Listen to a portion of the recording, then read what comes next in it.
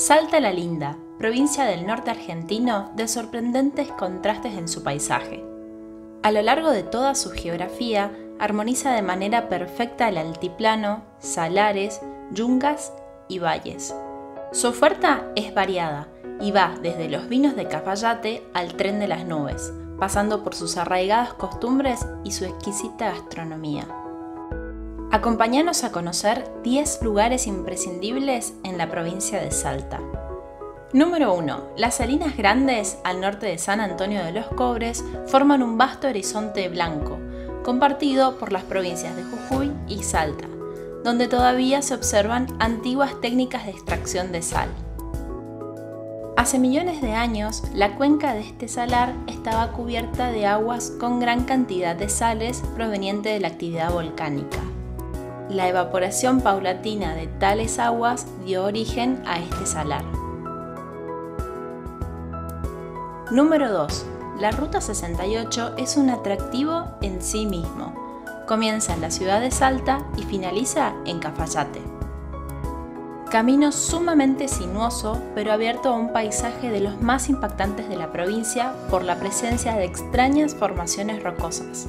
El colorido paisaje de sus montañas es destacado en todo el mundo. Las paradas obligadas son la Garganta del Diablo, la Quebrada del Río de las Conchas, Mirador Tres Cruces y los Médanos de Cafayate. Número 3. Cafayate, Atravesado por la Ruta 40 y en el medio de los valles calchaquíes, Cafayate es un destino infaltable para los amantes del vino. Cafayate y sus alrededores son famosos por sus viñedos, excelentes vinos y bodegas, donde se cultiva uva de tipo torrontés. Número 4. Tren a las nubes. Este es un viaje imperdible que parte de Salta y llega al viaducto La Polvorilla, tocando el viaducto de Toro y la mítica de San Antonio de los Cobres. El tren a las nubes es algo más que un tren, es una maravilla de la construcción ferroviaria, que llega hasta los 4.200 metros de altura. Durante su recorrido se atraviesan las obras más imponentes de la ingeniería del siglo pasado. Número 5. Parque Nacional Los Cardones. Ubicado en el centro oeste de la provincia, a 100 kilómetros de la ciudad de Salta, el parque cobija uno de los cardonales más extensos de América Latina. Aquí, los cardones encuentran su lugar en el mundo. Alcanzan alturas de entre 5 y 7 metros, aunque se han encontrado colonias que superan los 10 metros de altura. Sobre la Ruta 33 podrás disfrutar de vistas espectaculares, una ruta serpenteante entre cardones y flores de Abancay. La vuelta a los valles es un viaje inolvidable, a través de una región de fantástica geografía tallada por los vientos y el sol.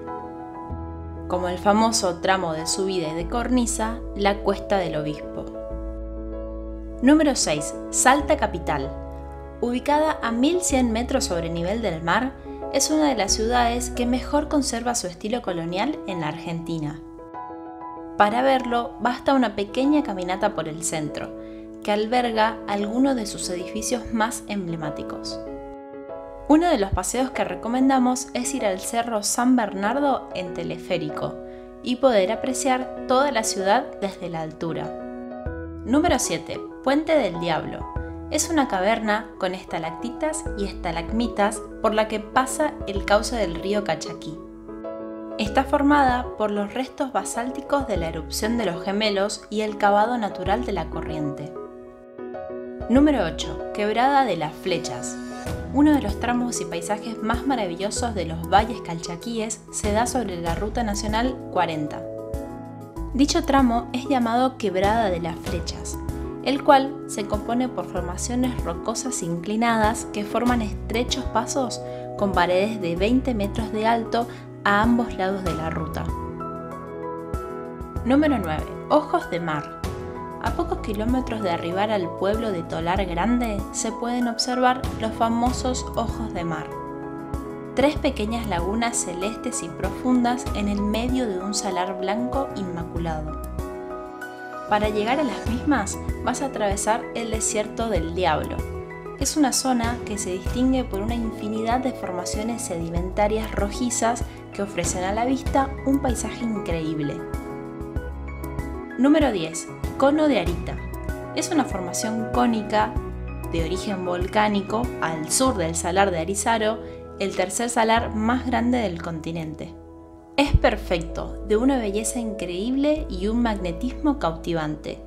Con una altura de 200 metros, es para muchos el cono natural más perfecto del mundo. Resalta debido a que se encuentra como un relieve isla en el medio del salar, mostrándose imponente y majestuoso.